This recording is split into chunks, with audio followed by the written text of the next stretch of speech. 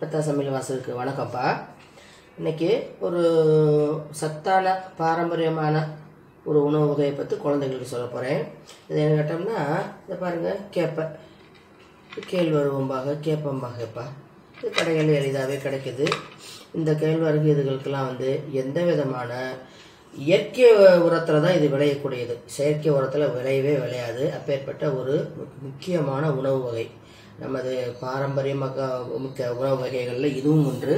நம்மளுடைய தாத்தா பாட்டி எல்லாருமே சாப்பிட்டு நம்மளுக்கு சொல்லி கொடுத்த உணவு வகையை வந்து இன்னைக்கு ஒரு ஆறு மாத குழந்தையிலேருந்து நம்ம ஆரம்பித்து மூணு வயசு வரைக்கும் இதை நல்லபடியாக கொண்டு போகலாம். அதை எப்படி செய்யணும்னு சொல்லி பார்க்குறேன். இதை பாருங்கள் இதை வந்து மிஷினில் கொண்டு அரைச்சி கொண்டு வந்து நம்ம செஞ்சு கொடுக்குற காட்டிலையும் நம்ம வீட்டிலேயே அதை எப்படி தயார் பண்ணுறது இன்னும் எப்படி அவங்களுக்கு வந்து அதில் வந்து நிறைய கலோரிகள் கிடைக்கும் சத்து கிடைக்கும் அப்படிங்கிறனால தான் இதை அவங்களுக்கு செஞ்சு காமிக்கிறேன்.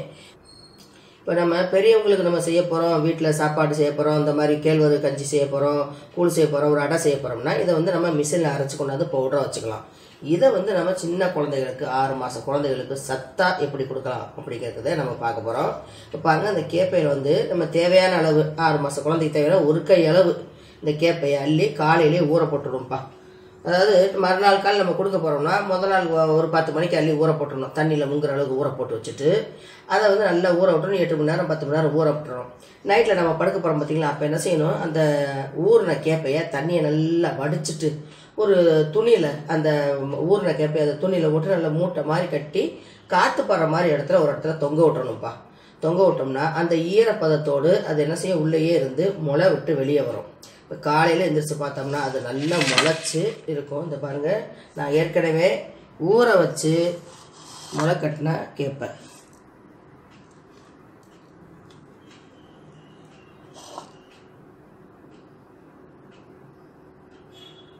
இப்போ பார்த்தீங்களா நல்லா சூப்பராக முளைக்கட்டி இருக்குது. அதாவது இந்த எல்லா எந்த தானியங்களையுமையும் முளைக்கட்டை வச்சு யூஸ் பண்ணோம்னா இன்னும் நமக்கு நிறைய சத்துக்கள் கிடைக்குங்கிறது தான் உண்மை. இதை பாருங்கள் நான் ஊற வச்சு முளைக்கட்டினது உங்களுக்கு கண்ணுக்கு முன்னாடி தெரியுது. இதை என்ன செய்யணும்? அதாவது பனி காலத்தில் மழை காலத்தில் வந்துன்னா இது நம்ம சீக்கிரமே முளை வெயில் காலத்துலனா அந்த நம்ம கட்டுப்போ அந்த முடிஞ்சு வச்சுருக்க அந்த துணியானது ட்ரை ஆயிரும்ல.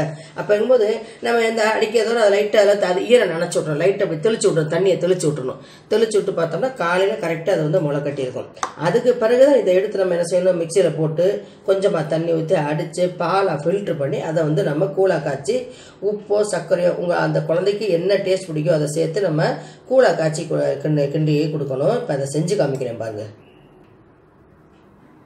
இப்போ பாருங்கப்பா இந்த மிக்சியில் போட்டு கொஞ்சம் ஓட விட்டுருக்கேன். பவுடர் மாதிரி வந்துருச்சு. தண்ணியை ஊற்றக்கூடாது ஏன்னு கேட்டோம்னா தண்ணி ஊற்றினா லவக்குன்னு பொங்கி வெளியே வந்துச்சுன்னா வேஸ்ட்டாக போயிடும் முதல்ல இதை ஓட விட்டு அதுக்கு பிறகு கொஞ்சம் தண்ணி சேர்த்து அரைப்போம்.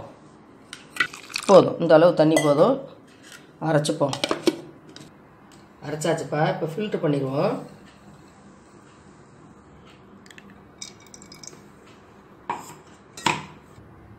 இதை ஏற்கனவே அரைச்சதை ஃபில்ட்ரு பண்ணியாச்சுப்பா. திருப்பி ஒரு தடவை இதை கொஞ்சமாக அதை போட்டு கொஞ்சமாக தண்ணி சேர்த்து திருப்பி ஒரு தடவை அதை அரைச்சி பால் எடுத்துருவோம்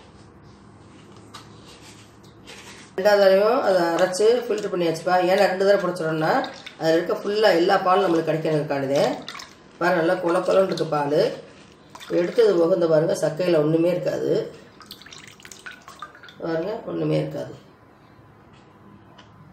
பேர் அளவு குழந்தைகளுக்கு எந்த சாப்பிடுமோ எவ்வளோ சாப்பிடுமோ அந்த அளவுக்கு நீங்கள் முதல்ல ட்ரை பண்ணிவிட்டு ஒரு செகண்ட் டைம் கொடுக்கும்போது கூட கொஞ்சம் போடணும்னா போட்டுக்கலாம்.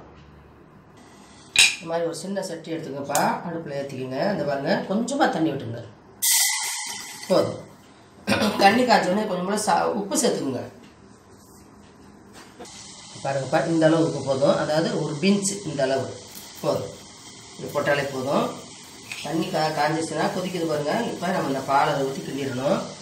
தீ வந்து சின்ன தீயாகத்தே இருக்கணும். இப்போ பாருங்க.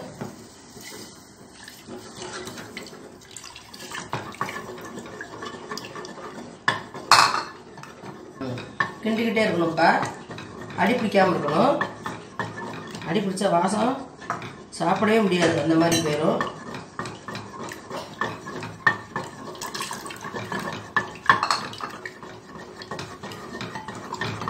கிண்டாமல் விட்டுட்டோம்னா கட்டி கட்டியாக வந்துடும் இது வந்து கிண்டி எடுக்கும்போது வந்து நொங்கு சோளமாக இருக்கணும் நல்லா. அப்போ தான் பிள்ளைகளுக்கு சாப்பிட்றது கஷ்டம் இருக்காது டேஸ்ட்டாகவும் இருக்கும். நான் உப்பு சேர்த்துக்கிட்டு இருக்கேன் தேவைப்பட்டவங்க இனிப்பும் சேர்த்துக்கலாம். உப்புக்கு பதில் இனிப்பு சேர்த்துக்கலாம்.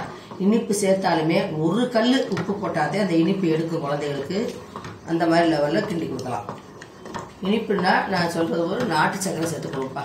ரொம்ப நல்லா இருக்கும் குழந்தைகளுக்கு. இல்லைன்னா சுத்தமான பனங்கற்கண்டு அந்த மாதிரி சேர்த்து கிண்டி கொடுக்கலாம். இந்த பாருங்க கிண்டிட்டு இருக்கும்போது நல்லா கிண்டியாச்சு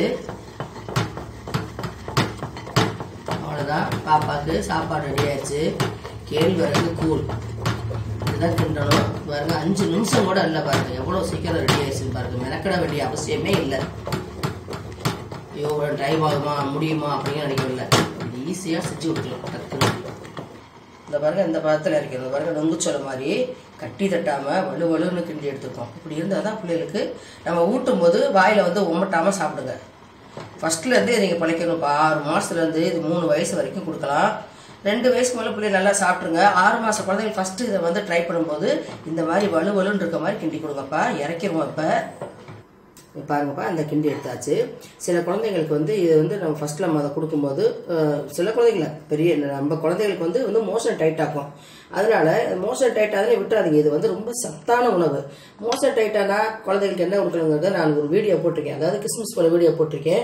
அதை வந்து நீங்கள் வந்து நைட்டில் ஊற வச்சு அதை எப்படி கொடுக்குமோ அந்த பக்குவத்தில் கொடுத்துட்டீங்கன்னா இது சாப்பிட்டாலும் பிள்ளைகளுக்கு வந்து அந்த மோஷன் வந்து டைட் ஆகாது.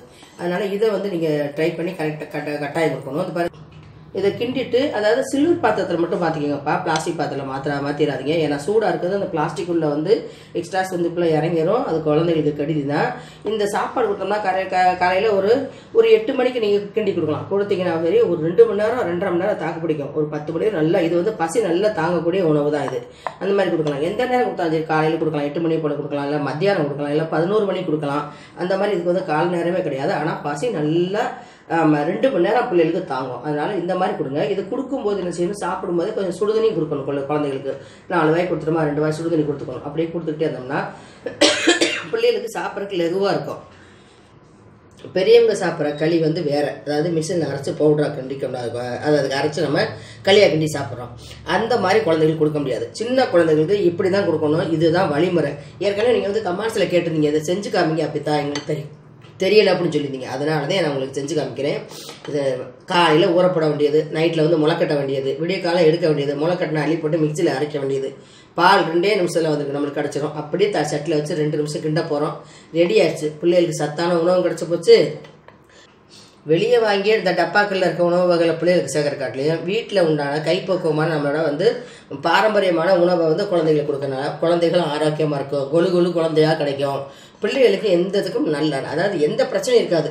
டப்பா உணவு சத்தம் சாப்பா சரியாக சாப்பிட மாட்டேங்குது. அது வாங்கி இருந்து டேஸ்ட் பிடிக்கல அப்படின்னா அது வீணாக போகிறதும் கிடையாது. இது ஈஸியான வழிமுறை தான் உங்களுக்கு செஞ்சு காமிச்சிருக்கேன். இதை செஞ்சு பாருங்கள் செஞ்சு கொடுங்க குழந்தைங்களுக்கு ஆரோக்கியமாக குழந்தைய வச்சுக்கோங்க. கமெண்ட்ஸ் பண்ணுங்கள் சப்ஸ்கிரைப் பண்ணுங்கள் நன்றி வணக்கம்.